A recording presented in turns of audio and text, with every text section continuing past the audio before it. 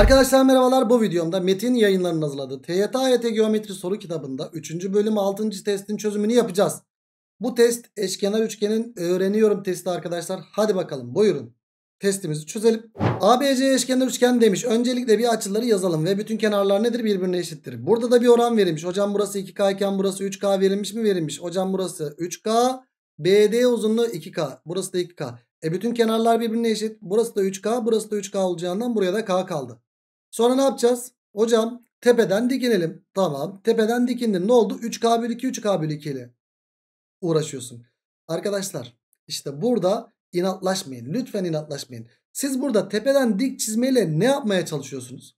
Şunu söyleyeyim. Tabii ki şu bazı sorularda tepeden dik çizmeyle çıkıyor. Çünkü direkt burası çift oluyor. iki eş parçaya bölünüyor. Ama tepeden dik çizmeyle sen 60'ın mantığını kullanıyorsun aslında. Tepeden dik çizmeyle ne yapıyorsun? 30-60-90 üçgen oluşturuyorsun. Yani asıl ana mantık 30-60-90 oluşturmak. E o zaman sen 30-60-90 oluşturmanın mantığını da zaten önceki konularda anladın. Ne yapıyorsun? Bu 60'ın mantığını kullanmak için illa tepeden dik çizmene gerek yok. İkinci bir ihtimal şuradan da dikeni çizebilirsin. Yani şu eski bağımlılıklarınız ortadan kalksın. Bakın bu size ders olsun. Bakın şuradan dik çizince direkt soru ne kadar kolay çıkacak. 90'ın karşısı 2K iken bakın 30-60-90'ın mantığını daha rahat bir şekilde kullanıyorum. Burası K oldu. 60'ı karşısında K kök 3 oldu. Hocam tamamı 3K'ydı. Burası da 2K oldu. E, yap burada Pisagor'unu. 4 kök 7'nin karesi eşittir. 2K'nın karesi artı K kök 3'ün karesi olduğundan dolayı burası 16 çarpı 7 böyle kalsın. 4K kare artı 3K kare yaptı. Yani 16 çarpı 7 neye eşit oldu arkadaşlar? 7K kareye eşit oldu. 7'ler sadeleşti. K kare 16 ise K'yı buradan 4 buldun. Senden çevre isteniyor. Çevrede 3, 6, 9K değil mi arkadaşlar? E, K yerine 4 yazdığında bu da kaç çıkar? 36 çıkar. Birinci soru böylelikle denizli oldu. Böyle böyle ikiler falan geldiği zaman inatlaşmayın soruyla. Geldik 2'ye. Tepe açısı 60 derece olan bir ikizkenar üçgenin. E, arkadaşım tepe açısı 60 derece olan bir ikizkenar üçgen aslında eşkenar üçgendir. Sebep hocam bu ikizkenar üçgen ya tepe açısı da 60 derece ya 180'den 60 çıkart 120 2'ye böl 60 60 yaptı mı bunlar yaptı. Üçgenin taban uzunluğunun taban kenarına ait yüksekliğine oranı nedir diye soruluyor. E arkadaşım taban uzunluğunun yüksekliğine oranı isteniyor. E o zaman buradan bir yükseklik çizelim. Yükseklik çizdiğin zaman burası 30-30 oldu mu? Oldu. E ben buraya A A dersem çünkü iki eş parçaya bölüyor. İkizkenar ya aynı zamanda bu. Tabanı iki eş parçaya böldü. 30'un karşısı A iken 60'ın karşısı A köküçtür. Bana diyor ki taban uzunluğunun yani 2A'nın bir kere taban taban kenarına ait yüksekliğin uzunluğuna oranı nedir diye soruluyor. A köküçe oranı nedir? A'lar nanay. Yani 2 bölü kök 3 yaptı. Kök 3 eşleniyle çarparsan 2 kök 3 bölü 3 çıkar. Yani cevabımız böylelikle Cihan oldu arkadaşlar ikinci soruda. Geldik 3'e. ABC eşkenar üçgen. Yaz kardeşim açıları. Öncelikle bir açıları yaz. Şu açıda 60 derece. Ve bütün kenarların eşitliği de mevcut mu? Mevcut. Şunları da gösterelim. AE'yi sana 3 demiş. Burayı 3 kök 7 demiş. Arkadaşım 30 60 90 üçgen çıktı. 30'un karşısı 3 60'ın karşısı 3 kök 3'tür. Burası da 6 mıdır? Evet. Aa burada Pisagor çıktı. E hocam Pisagor'da 3 kök 7'nin karesi eşittir. 3 kök 3'ün pis pis sırıtıyorum farkındaysanız. 3 kök 3'ün karesi artı A'nın karesi mi? Evet. Hala buradan yapanlarınız mı var diye sırıtıyorum çünkü. A buradan nedir? Ortak çarpandan yap kardeşim. Burası 3'ün kök 7 katı. 3'ün kök 3 katı. O zaman burası da 3'ün kare içinde. Bu hipotenüs olduğu için karesi eksi karesi. Kök 7'nin karesi 7. Kök 3'ün karesi de 3. 7 eksi 3'ten kaç çıktı arkadaşlar? Kök 4 oldu burası. Dışarıya 2 diye çıktı. E, 4 oldu. Dışarıya da 2 diye çıktı. O zaman A da neye eşit oldu? 3 çarpı 2'den 6'ya eşit oldu. A 6 olduysa eğer arkadaşım burası 6 olduysa 6 3 daha 9 burası. Hocam burası da 9. E o zaman 6 artı x 9'a eşit olacağından x de buradan kaç çıkar? 3 çıkar. Üçüncü soru böylelikle Ceyhan oldu. Geldik 4'e. Düzlemde yarıçap uzunlukları 8 birim olan ve birbirinin merkezinden geçen iki özdeş çember çiziliyor. Arkadaşlar iki özdeş çember çiziliyor. Birbirinin merkezinden geçen diyor. O zaman birinin merkezi burası olsun. Birinin de merkezi burası olsun. Sen bir çember çizecek olursan. Şöyle mi çizsek? Birinin merkezi burada. Birinin merkezi burada arkadaşlar. Şöyle bir çember çizecek olursak. Arkadaşlar kırmızı merkezliye ben kırmızıyla çizeyim. Şöyle bir çember. Öbürünün merkezi de şurası ya mavi merkezliğinde maviyle çizeyim. Mavininkini de şöyle çizdim. Arkadaşlar iki tane çember çizdim ve özdeş çember ve birbirlerinin merkezlerinden geçiyorlar. Yazdık mı yazdık. Dikkat edin şu yarıçap uzunluğu. Çemberde en etkili silahımız yarıçaptır zaten. Bak dikkat et yarıçap. Aa, hem kırmızının yarıçapı hem de mavinin yarıçapı. Bunlar eşit değil mi? Evet. Bu çemberlerin kesim noktaları arasındaki uzaklık soruluyor bize. Arkadaşlar şu çizdiğin zaman bu da yarıçap. Bunu çizdiğin zaman bu da yarıçap. Bunu çizdiğin zaman bu da yarıçap. Bunu çizdiğin zaman bu da yarıçap. Yani kısaca özetleyeyim. Hocam yarıçap, yarıçap, yarıçap, yarıçap, yarıçap. İkisinin yarıçapı aynı olduğu için aa iki tane eşkenar üçgen çıktı mı burada? Çıktı. Bizden şu isteniliyor arkadaşlar. Ee, bu nedir arkadaşlar? Bu tam olarak yüksekliktir. Sebep şuradan bir yükseklik çizsen tabanı iki eş parçaya böler. Buradan da bir kenar ortaya çizsem burası yüksekliktir. Dolayısıyla doğrusal oldu mu? Oldu. Çemberlerin kesim noktası eşkenar üçgenin iki tane yüksekliğine eşit oldu. Yarıçap uzunluğu da 8 demiş. Yani burası 4 4 8. E burası 30'un karşısı 4 iken 60'ın karşısı 4 kök 3'tür hocam burası. E aynı şekilde burası da 4 kök 3'tür. Çünkü e, burası 8 ya. Burası da 60 ya.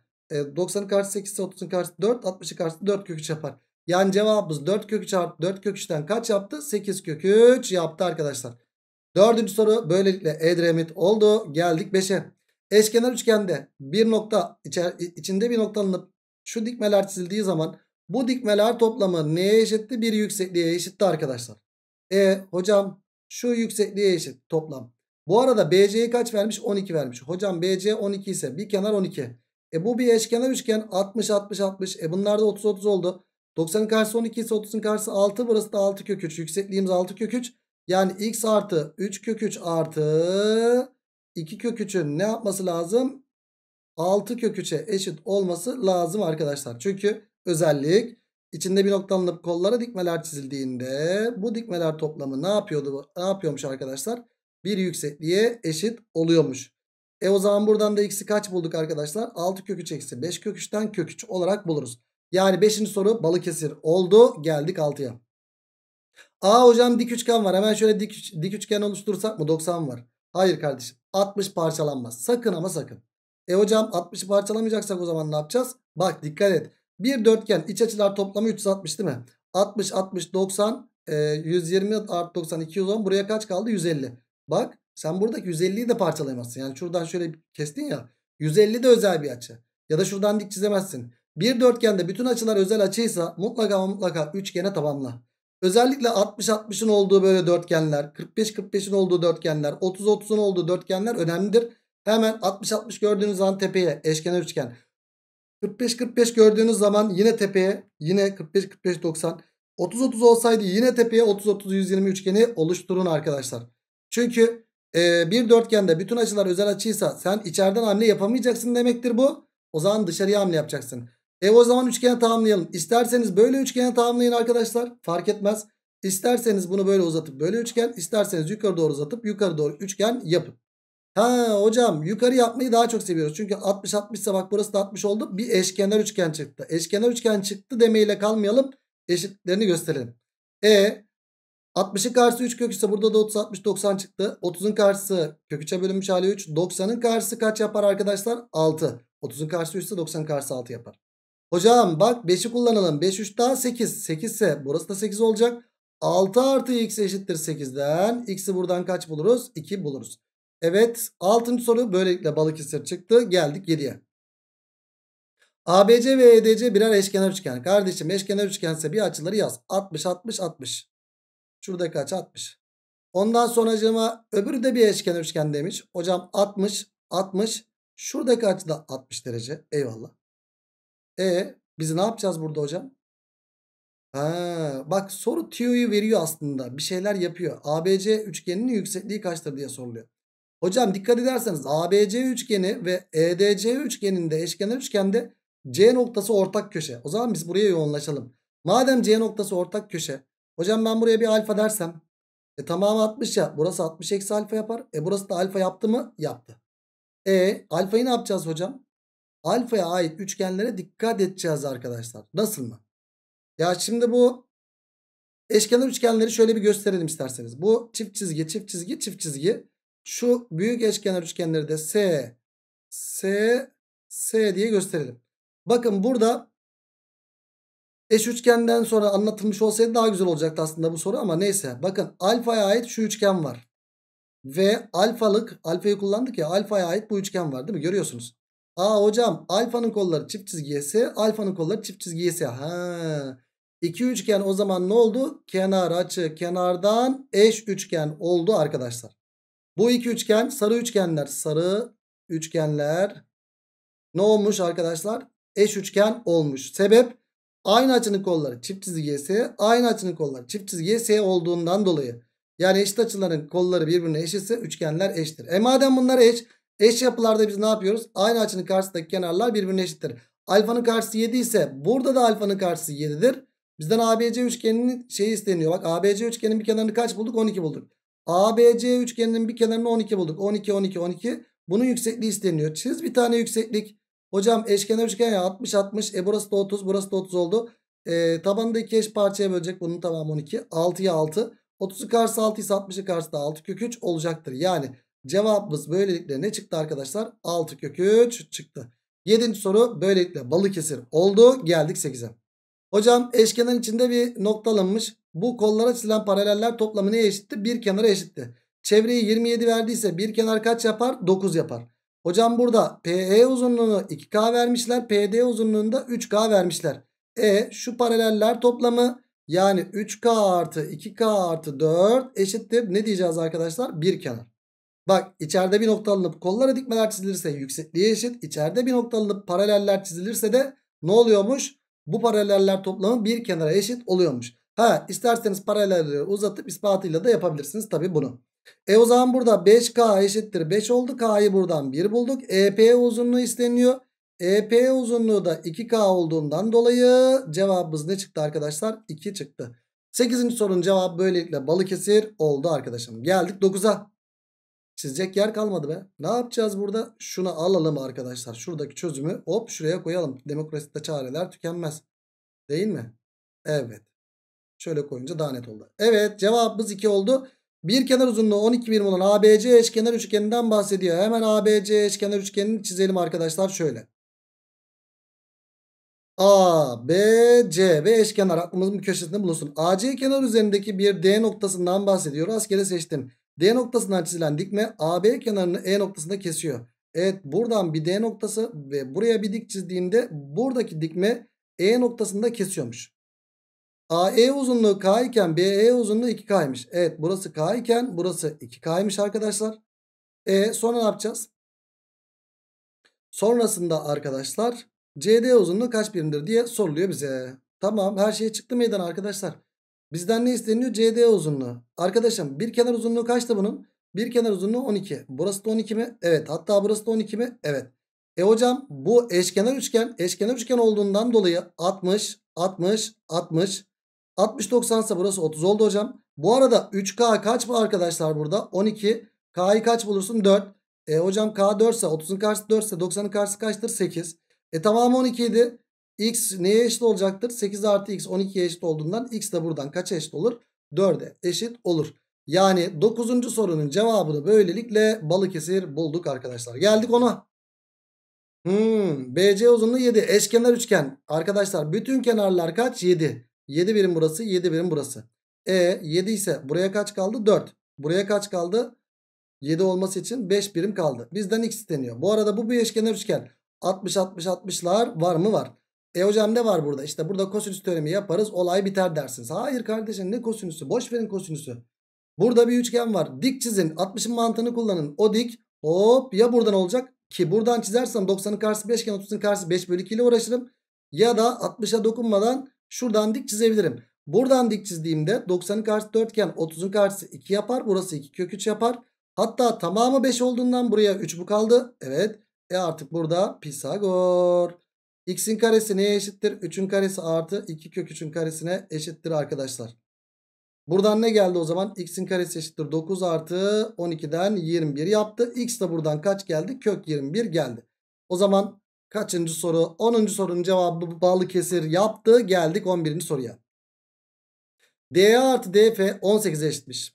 Hocam bu bir eşkenar üçgen. Eşkenar üçgen olduğundan x kenarın özelliğini sağlar. İkizkenarda tabandan bir nokta alınıp kollara dikmeler çizilirse bu dikmeler toplamı bir yüksekliğe eşit değil mi? Evet. Yükseklik 14 arkadaşlar. Ya DE artı DF'yi 18 vermiş. Yükseklik 18 olacak o zaman. Yani şu ikisinin toplamı bir yüksekliğe eşittir arkadaşlar. Hatta şuradan çizilen eşit kenara ama bütün kenarlar eşit ya fark etmez. Buradan çizilen yüksekliğe eşittir. Yani burası kaç yaptı? 18 yaptı. E hocam MG artı ML de 14 verilmiş. MG artı ML de 14 verilmiş. E buradaki x isteniyor bizden. Arkadaşlar MG artı ML artı x de yine 18'e eşit olmak zorunda değil mi arkadaşım? Çünkü şu içinde bir noktanın da kollara çizilen dikmeler toplamı da bir yüksekliğe eşitti. E MG artı ML MG artı MG artı GL artı GK MG artı şurayı niye yazamadım ben ya? Dur bakayım. MG artı GL artı e, GK yani X arkadaşlar yüksekliğe eşit olacak. Yani yükseklikte 18'e eşit arkadaşım. E, MG artı GL'yi zaten adam bize 14 vermiş. O zaman 14 artı X eşittir 18'den. X de buradan kaç geldi o zaman? 4 geldi. O zaman kaçıncı soru? 11. sorunun cevabını böylelikle Ceyhan bulduk. Geldik 12. soruya. ABC ve DF eşkenar üçgen. Eşkenar üçgen olduğundan bir açıları yaz kardeşim. 60 60 60 mı? Evet. Hocam bu da eşkenar üçgen. Burada da 60 60 60'ları yazalım. A 60 60 ise burası da 60 oldu. Bu da eşkenar üçgen oldu.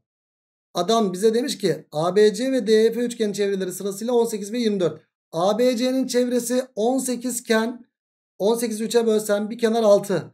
DF'nin çevresi 24 iken 3'e bölsem bir kenar 8 yaptı. Çok güzel. Şimdi gençler BF'yi de adam bize kaç vermiş? 12 vermiş. Hocam BF uzunluğu 12. Ya kardeşim sen buraya kadar olan kısmın ne olduğunu biliyorsun? 6. E burası 6 ise buraya kaç kaldı o zaman? 6 kaldı. E hocam zaten bak bunun buradaki eşkenar üçgenin bir kenarı da 8. E şuraya kadar olan parçanın kaç olduğunu söyleyebilirsin sen 8 ise. O zaman buraya kaç kaldı? 2. EKG üçgenin çevresi ne olacak arkadaşlar? 2 artı 2 artı 2'den 2 4 6. 6'ya eşit olacaktır. Yani 12. sorunun cevabı da böylelikle Akçay çıktı. Ve 6. testte bitirmiş bulunuyoruz. O zaman ne diyoruz? Bir sonraki videoda 7. testin çözümünde görüşmek dileğiyle. Kendinize iyi bakın. Hoşçakalın.